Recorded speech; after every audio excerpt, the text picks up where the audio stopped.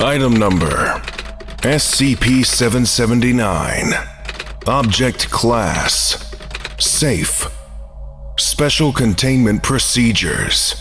SCP 779 is currently contained in Site. In.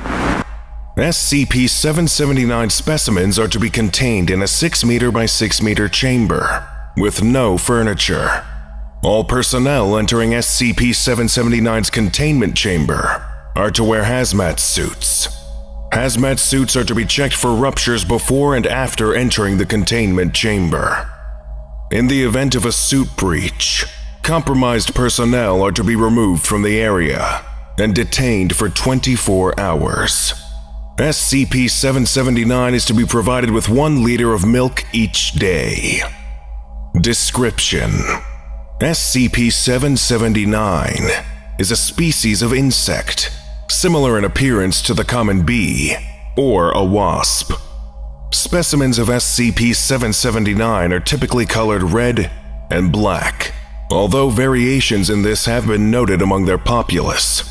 SCP 779 usually breed and live in human residences, but sightings of SCP 779 have been reported at rivers and lakes, suggesting the possible existence of a subspecies. SCP 779 operates with a typical social system.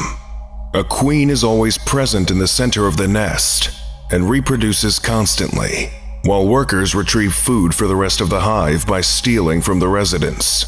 SCP 779 queens are recognizable by the distinctive yellow spot present on their backs. SCP 779 nests are usually formed from whatever materials are available in a section of the human residence with little traffic, such as an attic or basement. SCP 779 have been observed to operate at all times of the day. When a nest has been formed, Specimens of SCP-779 will attempt to sting residents, injecting them with their hallucinogenic venom. After this initial injection, SCP-779 will sting their victims at least once per day to keep the venom in their system.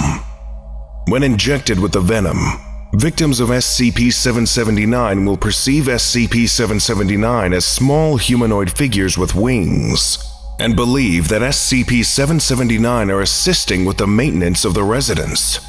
Victims will continue to believe this even if the residence undergoes structural collapse. Continued exposure to SCP-779's venom can result in victims viewing them as their children and defending them from most threats.